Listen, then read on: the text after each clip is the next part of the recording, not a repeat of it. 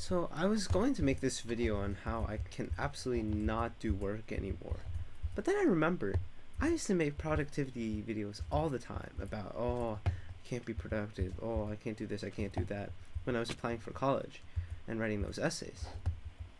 And so maybe I think I've lost my ability to be productive for a while now. Like I'm sure tomorrow I will be productive because I have a final on Monday and a paper due Monday too. But I've had three days to do it, and the first two days I've just done absolutely nothing productive at all. Right? I could have done some exercise even, but instead I choose to stay all day and play Brawl Stars. I mean, it wasn't not fun, but like at the same time, it was like not good for me. Cause like these past couple of days, this past week, these past two weeks, honestly, have been absolutely horrible like for my physical health i think. And that in turn has affected me so negatively in all aspects. Like i'm just so drowsy so just like unenergetic. And that's a lot in part because of my horrible sleep. But also just like i don't know. I think something is just like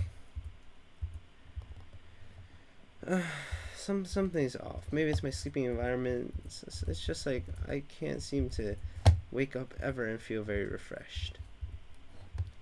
Uh, but the thing is, I think it's not that bad a fix. Like, it's just that I have to, number one, actually get a good night's sleep at a reasonable time, which today I think I will be able to if I just go shower and brush my teeth right after this. It's only 2 a.m. right now, which may sound bad, but for context, I've been sleeping at like six, which is horrible.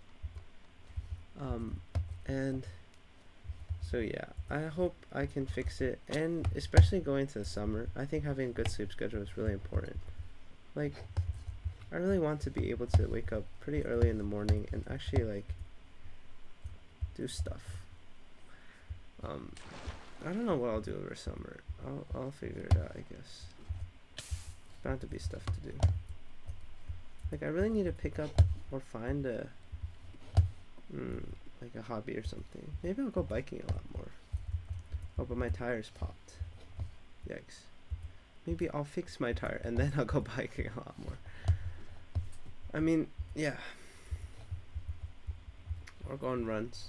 I think biking though is because you can actually go a lot farther. Oh, I haven't made a video about biking. But yeah, I I think all I have to do. I mean, my finals I think it's just like a lot of the times whenever I get so close to the end of something, I just give up and I'm like, okay, it's this close to the end, you know, just let it be over. That's my problem with tests a lot of the time too. Like I don't study like I'm like I don't study until like very close before because I keep procrastinating because I'm just like I just want to be I just want it to be over and then I don't have to stress about it. But then I end up still stressing about it and doing nothing about it and then just doing something at the last second and then coming out of the test being like, bruh, but it's okay. Uh,